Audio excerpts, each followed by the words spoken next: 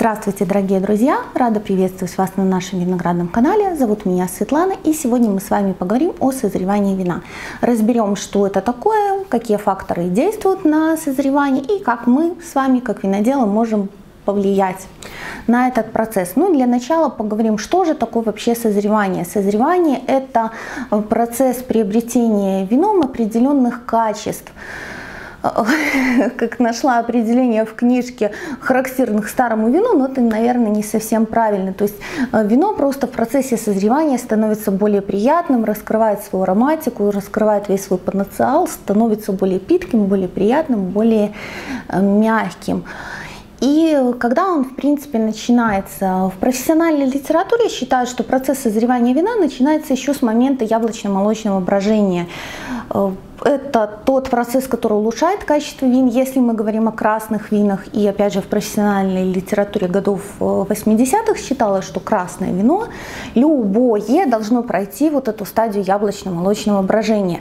Э, касательно белых вин, там есть определенные споры. В некоторых странах некоторые ученые считали, что э, это тоже очень классно. Другие считали, что может и не совсем, можно обойтись, либо ну, вообще это плохо.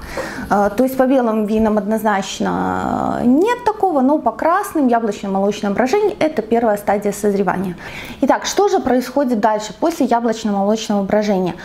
А, ну, тоже помним, что в классике созревание вин происходит в дубовых бочках. Ну, понятно, что дубовые бочки есть абсолютно не у всех, особенно если мы говорим о домашнем виноделии, о микровиноделии, когда мы работаем с небольшими количествами, ну и не всегда возможно дома содержать эту бочку. Об этом я рассказывала, и под видео, нажав кнопку еще, я вам обязательно оставлю ссылки на видео про дубовую бочку. То есть э, вообще созревание в этой самой бочке. Почему же именно дубовая бочка? Дело в том, что процессы созревания сосредоточены на окислительных и восстановительных процессах. В окислительных процессах нам нужен кислород. И дубовая бочка, скажем так, это самый удобный инструмент дозирования вот этого самого кислорода, который поступает в вино. Да, он поступает там не совсем равномерно, только ну, поверхности, потом проникает глубже, но это все нюансы. Не будем углубляться сильно. Ну, понимаем, что дубовая бочка это, это не только танины дуба. Если мы хотим добавить именно танинов дуба, то мы можем положить дубовую щепу. Но бочка играет гораздо большую роль. И здесь я позволю себе чуть-чуть отвлечься. Очень много и ваших комментариев читала, что и, и в принципе много где читаю. А, оптимальный размер дубовой бочки 225 литров, все остальное все ерунда. Ну давайте просто немножечко подумаем. Вся профессиональная нормальная литература строится на чем? На промышленном виноделии, где люди работают с большими масштабами.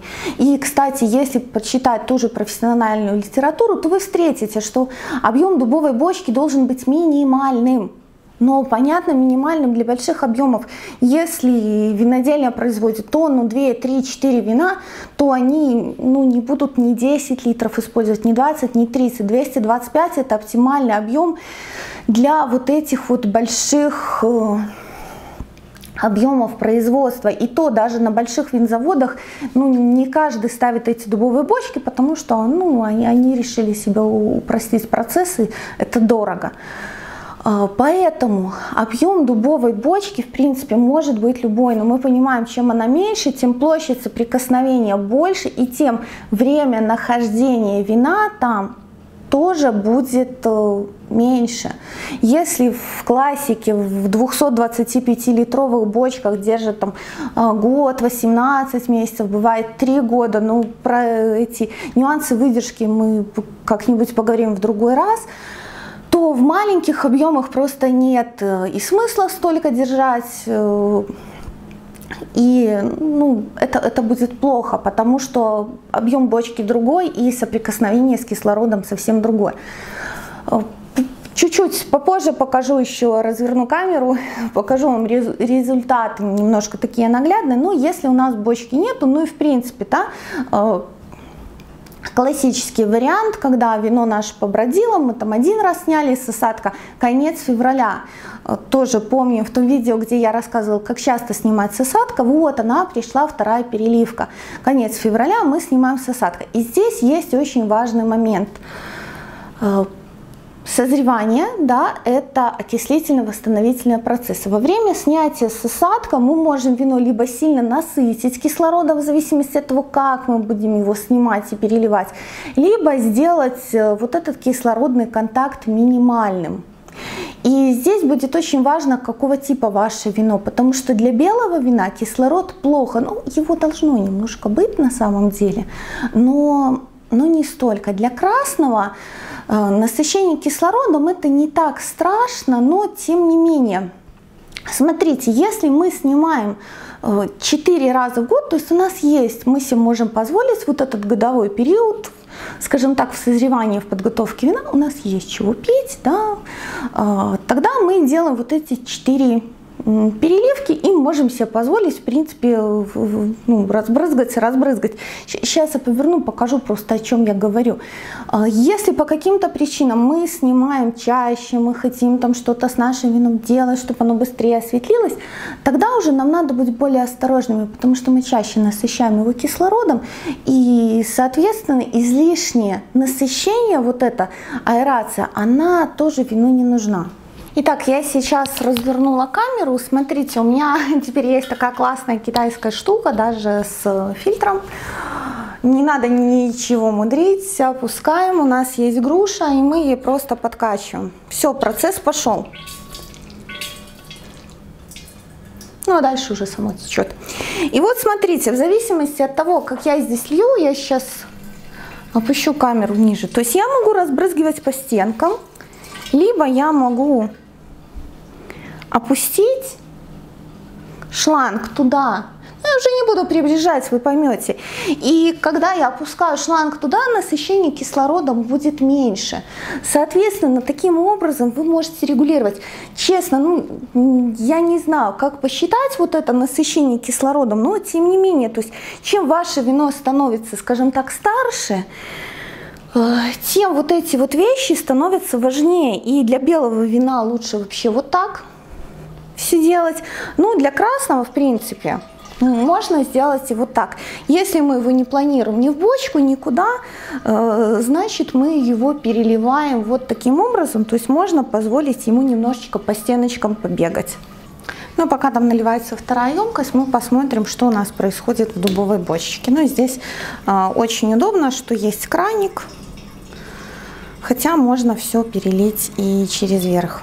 И вот, собственно, перед вами два бокала. Не видно ни так, ни так. Сейчас я найду, как, как показать. Ну, уже, наверное, видно немножко по оттенку. Значит, вот а, в этом, сейчас включу фонарик, а, те кирпичные тона, о которых я говорила, смотрите, значит, ну, на, на ободки смотрим потому что э, немножко может быть еще мутноватеньким для этого времени нормально, то есть это более такое розовенькое, вот это более, ну видите цвет, он другой. Тоже то, что оно здесь немножко мутновато, вы видели, я налила снизу. Перед этим бочку принесла, на стол ее закинула, ну, поболтала, конечно, все. То есть, если бы я сверху заливала, было бы все по-другому. То есть, первое, в чем отличается, это в цвете. Второе, это абсолютно два разных вина, несмотря на то, что они из одного винограда, из одного урожая и, в принципе, из одной, скажем так, общей емкости.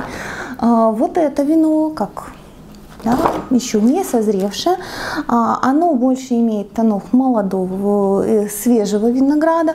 А, вот это вино несколько другое, у него уже другой запах, другой вкус, более мягкий. В принципе, хороший и то, и то но они абсолютно разные.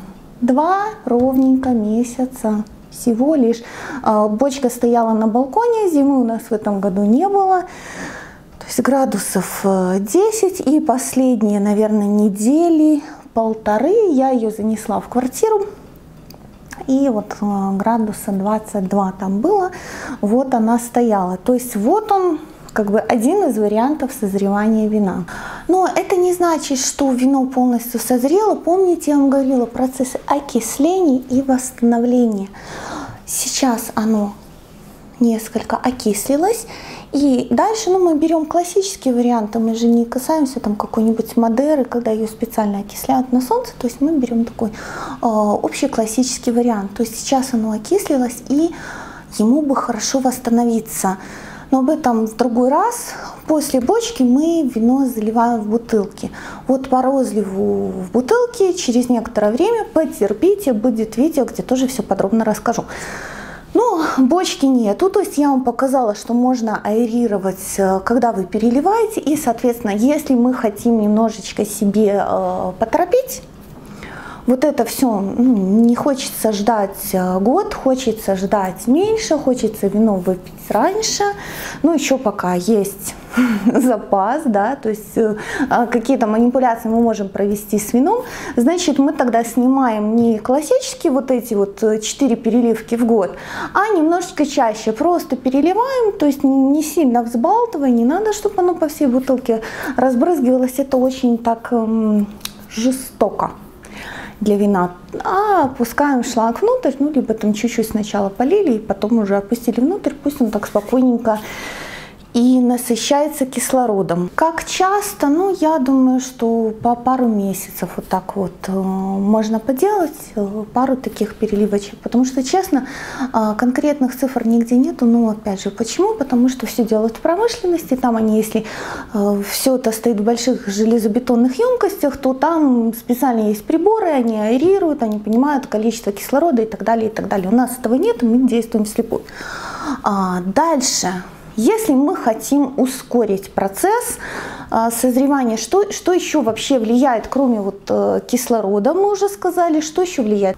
А, в одном из своих видео, где я рассказывала про пастеризацию, я говорила, что пастеризация это один из способов ускорения созревания вина, то есть там, э, если она правильно проведена, то есть э, закрыто, правильные температурные режимы, а, оно тоже ускоряет вот эти самые процессы, которые происходят в вине. И, например, в Испании правда, там нагревают, по-моему, э, градусов до 30 и некоторое время держат при повышенных температурах. Ну, понятно, они могут себе это позволить в промышленных условиях, а потом выносят на холод, перемещают на холод.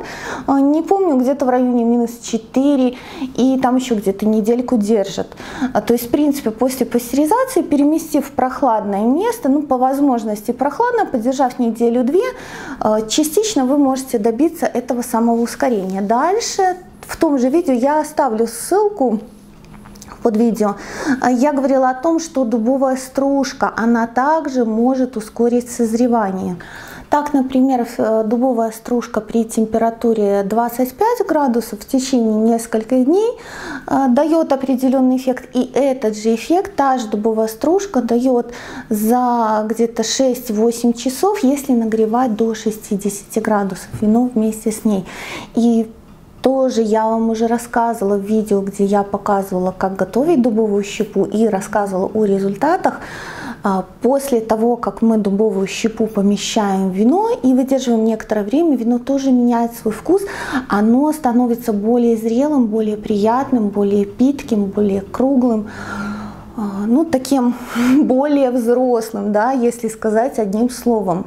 И, кстати, раз уже мы коснулись темы вообще дубовой стружки, э, либо щепы, не бойтесь передержать. У меня, ну, в этом году я очень много чего экспериментировала. Э, стру... Щепа была сильно обжарки, добавила в красное вино. Через некоторое время, когда его попробовала, у меня был шок, потому что если вы когда-нибудь э, полоскали десна дубовой коровы, вы поймете, о чем я говорю. У меня стянуло вот так вот все. Я думаю, ну что ж я так, ладно, у меня как бы есть чем развести, а, ну, как-то я перестаралась. Так вот, буквально через несколько дней этот эффект ушел, так что не бойтесь. Ну, понятно, не стоит э, э, сильно переусердствовать, но тем не менее, ну, не бойтесь. Итак, а, температура, значит, э, тоже, если мы рассматриваем советскую литературу, то в советской литературе рекомендуют вино там, в бочках, в емкостях выдерживать где-то при температуре, по-моему, 12-14 градусов. А, ну да, в этой температуре вино созревает, то есть мы знаем все, что вино хранят в подвалах, э, как бы все классно, все хорошо. Но если мы хотим э, ускорить процесс, то температура это наш помощник. 20 градусов для красного вина и 25 для белого. Э, то, что происходит в течение длительного периода у вас может пройти за пару месяцев. Так что вот это такая очень хорошая новость для тех, кто делает вино дома. То есть у нас нет подвалов, у нас э, на улице потеплело, мы уже не можем хранить на балконе при какой-то прохладной температуре, значит не пугаемся, все смело заносим в квартиру.